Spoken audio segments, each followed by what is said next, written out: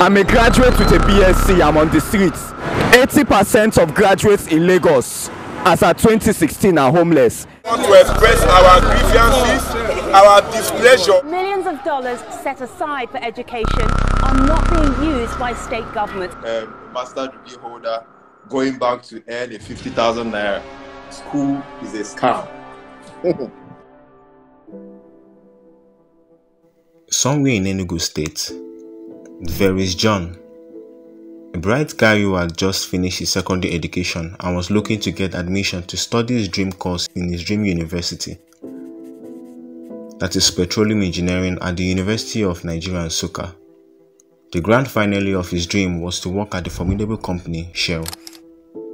He applied, wrote the exam. The results came out. He couldn't make it. He did not quite meet up to the cutoff mark. The following year, he tried harder. He surpassed the cutoff mark. He wasn't chosen still. Devastated as he was, he couldn't go on with this. The next year, he applied for the same course, but in a state university, sure he would get the admission. He is an indigent. And yeah, he got admitted. But then, school was tougher than he expected. He struggled to pay his fees at some point. There were long strikes at other moments. He had rough moments, but at the end, he graduated, did his NYSC. So, about nine years after he had his dream to work at Shell as a petroleum engineer, he was ready. The moment had come. He walked into the nearest Shell company to him and applied for his dream job. Two years later, John was really, really frustrated and so depressed because he was about to apply for a job as a school teacher to teach physics at a secondary school. You see, he had been unable to secure a job for the past two years. Two years. At the end of that very day, he couldn't get the job as the teacher because they already had someone he came out of the school complex, recalling that he had a second class upper in petroleum engineering. He recalled all he went through while he was at school, all the struggles and everything. He folded his hands in shock and agony, with just one thought coming to his mind school, na scam. This is the story of many young lads around the country, and because of these experiences, many have concluded that school is a scam. But then, is it? Is it really a scam? It's a really important question. It is important because it's really affecting our society. There is a gradual tilt away from school. Young people are beginning to lose faith in school. They don't think they can achieve fulfillment in life through school anymore. This is a question we all have to answer. Does it still pay to go to school? Does school really help us become successful in life? What about all the unemployed graduates? What exactly is the problem here? After this video, you won't have to ask these questions anymore.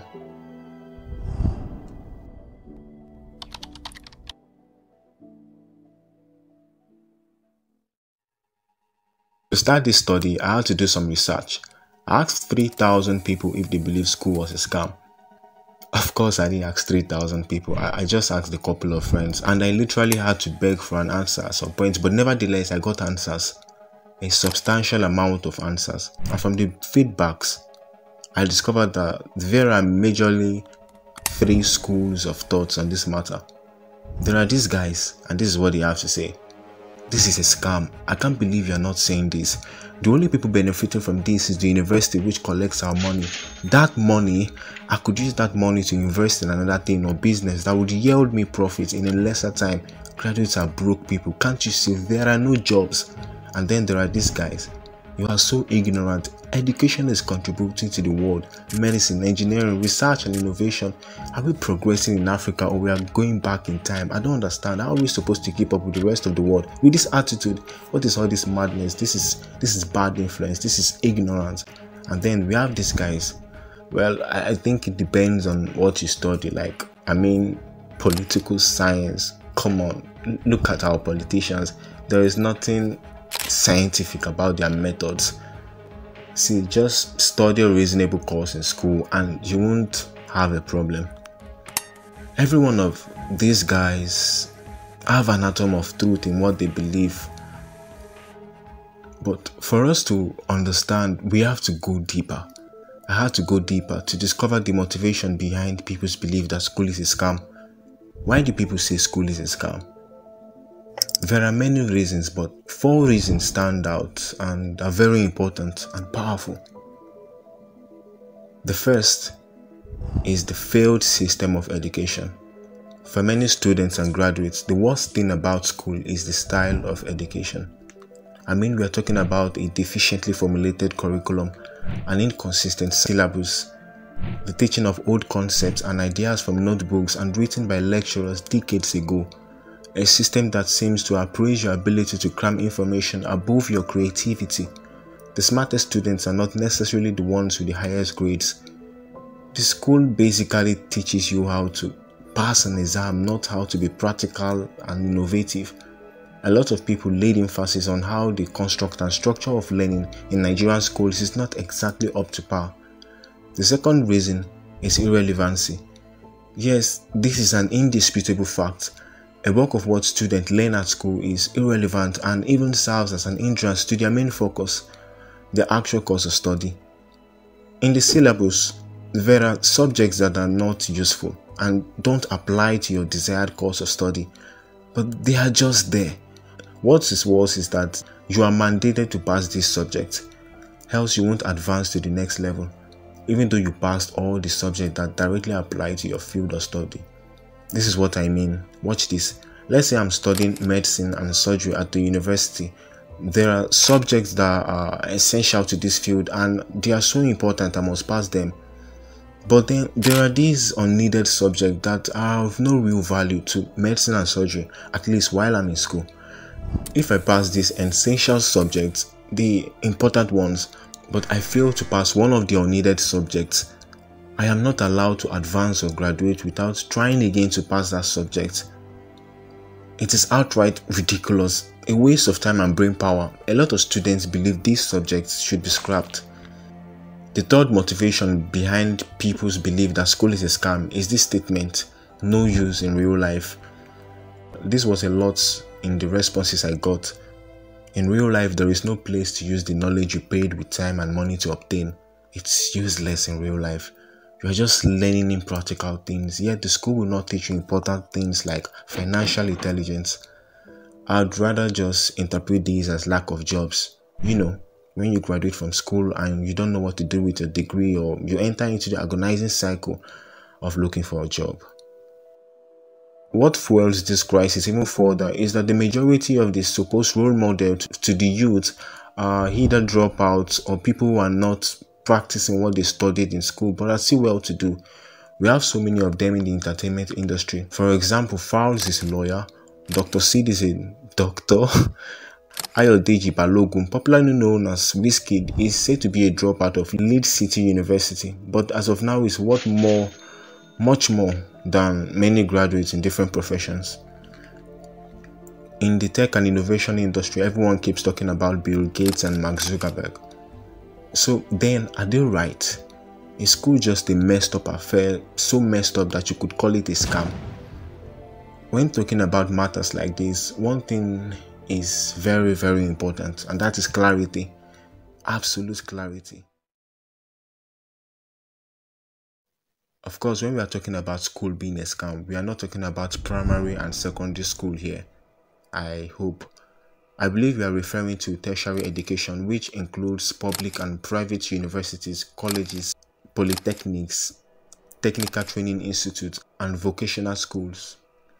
So just get this now, when I make mention of tertiary education from this point, know I'm talking about universities, colleges of education, and polytechnics for the most part and from this point onward in this video whatever I say about the university applies to other tertiary institutions.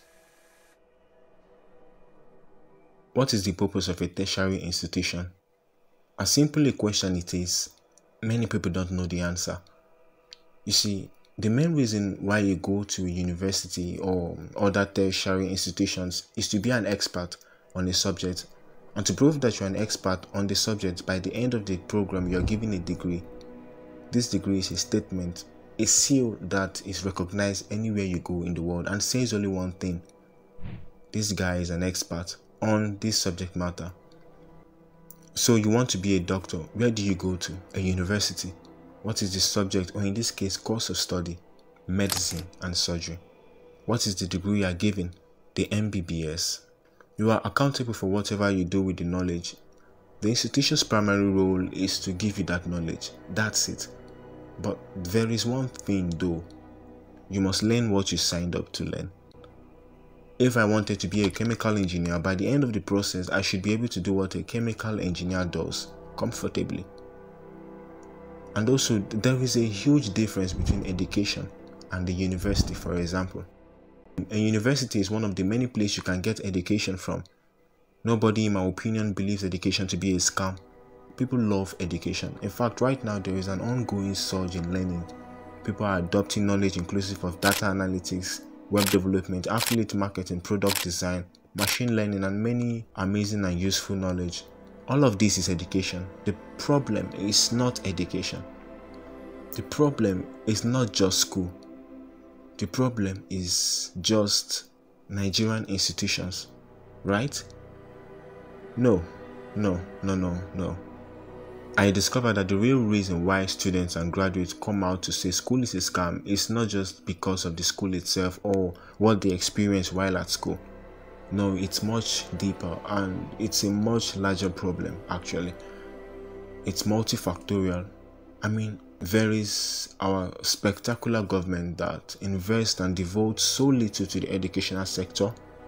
There is our failing Nigerian economy, which is usually interpreted as a high level of unemployment amongst our graduates. varies our wrong mindsets towards schools and jobs. However, I'm not downplaying the precise ability of our universities to make us hate education. It's a rabbit hole, really. For a large percentage of people, entering a university requires a level of corruption. To graduate still requires a track record of corruption. By corruption, I mean exchanging money for a pass. The university is full of unneeded stress from the very first day to that day you bid farewell. A poorly structured curriculum full of things you do not need you learn courses that will never be applied in real life, in your field at least. The learning environment is poor. The man teaching you economics is poor. The students are always complaining. The lecturers are always complaining. Why? Why are the lecturers always complaining? I'll tell you why. Because they are not being paid or they are being paid late. They are not really enjoying their jobs. It is a way of survival, really. Many of them will leave once they sense a better option. So the naturally annoying students aggravates them even further. This is a backslash on the student who discovers that you could spend seven years studying a course you are supposed to cover for four years because you annoyed an elderly lecturer. There is no drive for information in the school environment. At the same time, you're afraid of the future because you don't even know how it will be when you graduate. Will there be a job for you? I don't really want to go into the details about how the university system of Nigeria is one of a kind. We already know that, and its failure is magnified by the Nigerian government. I mean, look at this staff are not paid. Do you know how dangerous that is? It can lead to an apocalypse.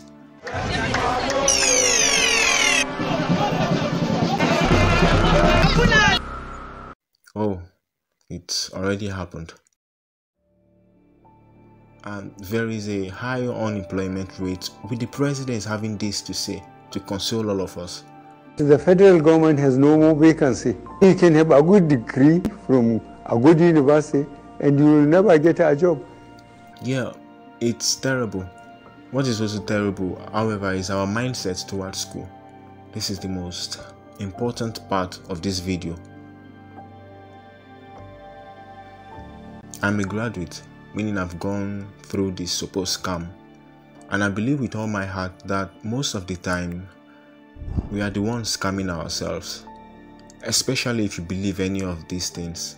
One, that attending a university is a sure ticket to a successful and financially free life.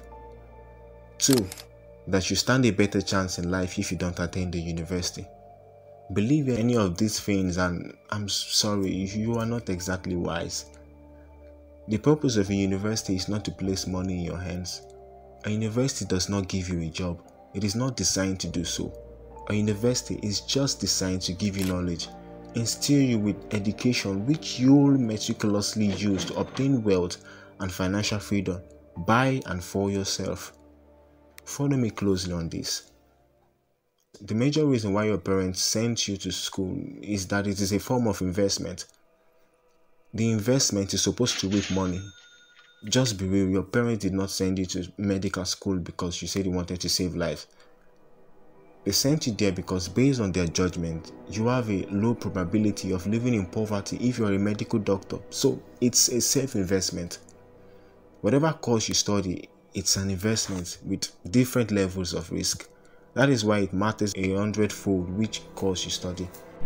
While these courses, however, do not give you money directly, there is a present need for someone with the information embedded in that course you are studying. Where there is a need, there is supply and demand. And where there is supply and demand, there is money. So you can enter that market space and say, hey, I'm a doctor. You guys need someone who can tear people open without remorse. Pay me and I'll tear people open without remorse. Hey Shell, I'm an engineer. You need someone who has an understanding of fluid mechanics which is paramount when extracting petroleum. I'm your man. So this is how it works. We use our education to supply a need in the global market and get paid for it if you study transport management technology. I don't even know if Nigeria cares about transport management. Talk less of transport management technology.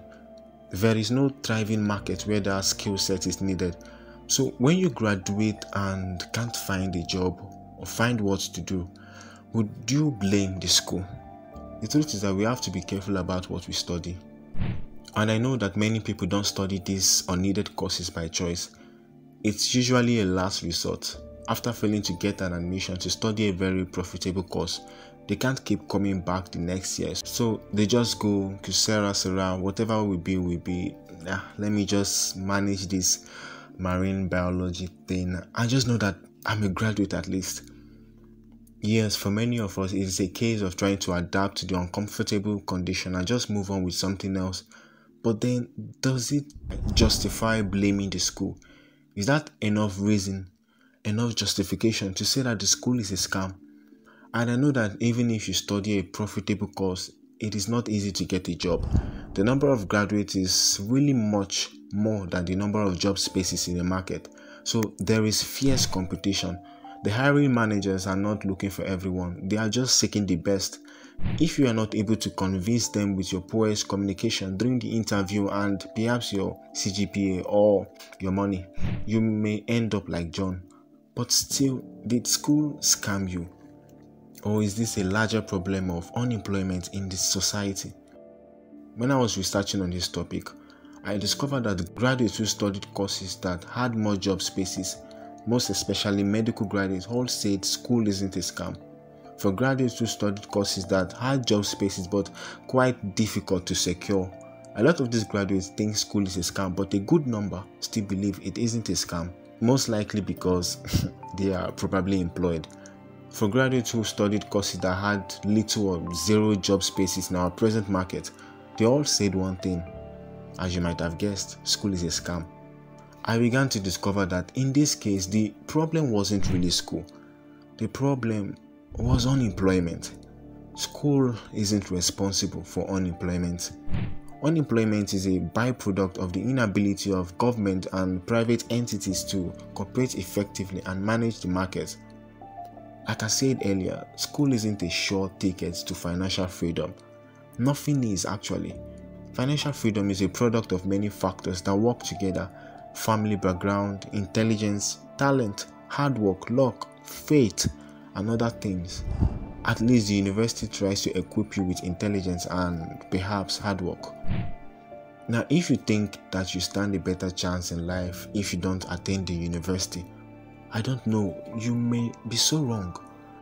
For most, the idea is this this money I've put into five years of this fruitless course. If I had invested it in a business, I would have made so much money by now. I would have been better off.